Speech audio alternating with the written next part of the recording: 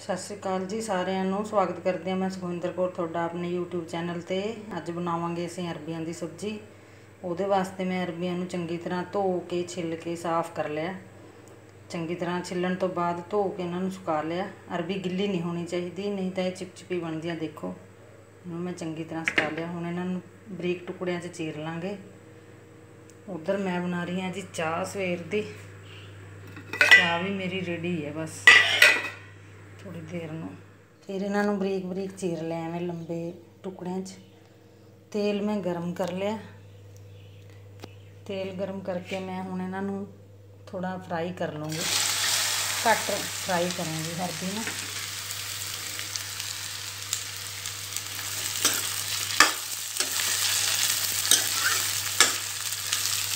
ਅਰਬੀਆਂ ਨੂੰ 5 ਮਿੰਟ ਤੱਕ ਫਰਾਈ ਕਰਨਾ। ਅਰਬੀਆਂ ਹੋ ਗਈਆਂ, ਫਰਾਈ ਸਾਡੀਆਂ ਹੁਣ, ਅਸੀਂ ਇਹਨਾਂ ਨੂੰ ਕੱਢ ਲਾਂਗੇ।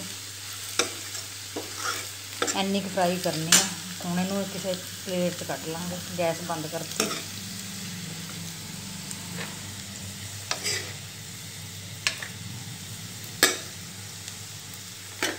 ਅਰਬੀਆਂ ਕੱਢ ਲੀਆਂ ਪਲੇਟ 'ਚ, ਕੜਾਹੀ 'ਚ ਜਿੰਨਾ ਕੁ ਤੇਲ ਬਚ ਗਿਆ, ਉਸੇ 'ਚ ਅਸੀਂ ਮਸਾਲਾ ਤੜਕ ਲਾਂਗੇ। ਮਸਾਲੇ 'ਚ ਮੈਂ ਪਿਆਜ਼, ਟਮਾਟਰ ਪੀਸ ਲਿਆ ਬਰੀਕ, ਮਿਕਸੀ 'ਚ ਪਾ ਕੇ ਹਰੀ ਮਿਰਚਾਂ ਵੀ ਪੀਸ ਲੀਆਂ ਨੇ ਨਾਲ ਔਰ ਹਲਦੀ ਔਰ ਨਮਕ ਪਾ ਲਿਆ ਮੈਂ। ਜਿਹੜਾ ਬਚਿਆ ਹੋਇਆ ਤੇਲ ਹੈ, ਉਸੇ 'ਚ ਅਸੀਂ ਤੜਕਾ ਲਾ ਦਾਂਗੇ ਹੁਣ।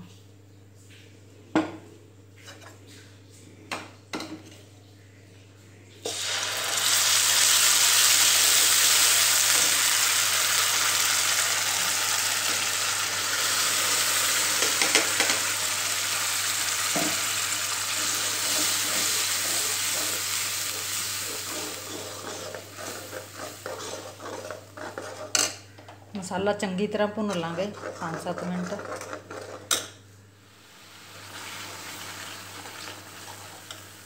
ਮਸਾਲਾ ਚੰਗੀ ਤਰ੍ਹਾਂ ਭੁੰਨ ਗਿਆ।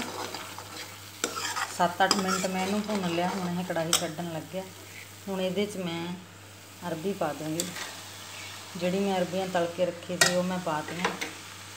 ਚੰਗੀ ਤਰ੍ਹਾਂ ਮਿਕਸ ਕਰ ਲਾਂਗੇ।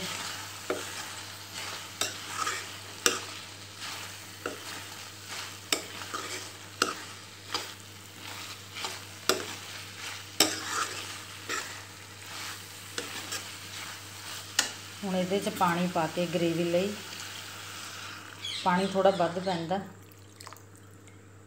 ਕਿਉਂਕਿ ਅਰਬੀਆਂ ਨੇ ਰਿੱਝਣ ਤੋਂ ਬਾਅਦ ਸੋਖ ਲੈਣਾ ਪਾਣੀ। ਤਰੀ ਗਾੜੀ ਹੋ ਜੂਗੀ ਚੰਗੀ ਤਰ੍ਹਾਂ।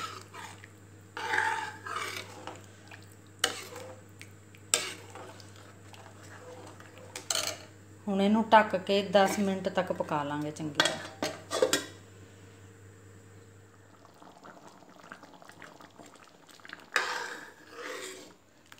ਅਰਬੀ ਦੀ ਸਬਜ਼ੀ ਬਣ ਕੇ ਤਿਆਰ ਹੈ। ਇਹਦੀ ਗ੍ਰੇਵੀ ਦੇਖ ਲਓ ਕਿੰਨੀ ਗਾੜੀ ਹੋ ਗਈ। ਮੈਂ ਕਿੰਨਾ ਪਾਣੀ ਪਾ ਦੇ ਸਿਰਫ 5 ਮਿੰਟ ਮੈਂ ਇਹਨੂੰ ਰਝਾਇਆ ਪਾਣੀ ਪਾਣ ਤੋਂ ਮਗਰੋਂ। ਹੁਣ ਆਪਾਂ ਗੈਸ ਬੰਦ ਕਰ ਦਾਂਗੇ। ਸਬਜ਼ੀ ਬਿਲਕੁਲ ਰੈਡੀ ਹੈ ਜੀ। ਉਮੀਦ ਹੈ ਤੁਹਾਨੂੰ ਮੇਰੀ ਸਬਜ਼ੀ ਬਣਾਉਣ ਦਾ ਤਰੀਕਾ ਵਧੀਆ ਲੱਗਿਆ ਹੋਣਾ। ਤੁਸੀਂ ਵੀ ਜ਼ਰੂਰ ਟਰਾਈ ਕਰਿਓ। ਅਰਬੀ ਦੀ ਸਬਜ਼ੀ ਐਵੇਂ ਬਹੁਤ ਸਵਾਦ ਬਣਦੀ ਹੈ।